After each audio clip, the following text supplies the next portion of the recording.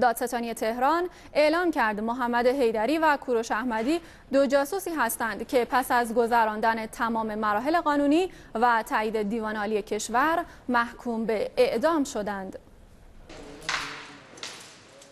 دو جاسوس سرویس های اطلاعاتی بیگانه سهرگاه امروز تناب مجازات گریبانشان را گرفت یکی از آنها یک و نیم سال با هدایت موساد اسناد محرمانه ای را از برخی دستگاه ها در اختیار رژیم صهیونیستی قرار می‌داد.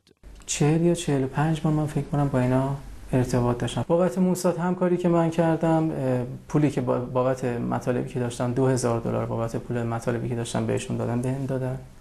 بقیه پولایی که دادم بابت پوشش بود. من شرمنده ملت ایران هستم. بابت همین دومین جاسوس در سرقت اطلاعات و ارائه آنها به CIA از شیوه های بسیار پیچیده استفاده می کرد. جاسوسی سازمان سیا بیش از یک ده و نیم کوروش جاسوسی حرفه‌ای بود و دست پرورده و دست به سینه سیاه او نیز اسرار بخشهایی از میهن را برای طراحی توطئه ها در اختیار دشمنان قسم خورده کشور قرار می‌داد. 1998 که همکاری فعال من در این زمینه از همون سال 98 شروع شد. کوروش به قدری مهره با ارزشی برای سیا بود که کد شناسه خاص از طرف این سازمان جاسوسی داشت.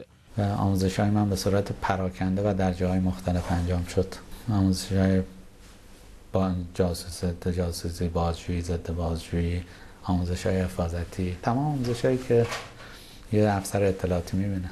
یه مدال گرفتم از رئیس وقت سازمان سیا در پی تکمیل تحقیقات پرونده اتهامی نامبردگان با صدور کیفرخواست به دادگاه انقلاب اسلامی تهران ارسال و دادگاه پس از تشکیل جلسه با حضور نماینده دادستان و وکلای مدافع متهمان اتهام آنان را در حد محارب تشخیص و نامبردگان را به اعدام محکوم کرد. دنیای جاسوسی انگار پایانی جز پایان زندگی ندارد.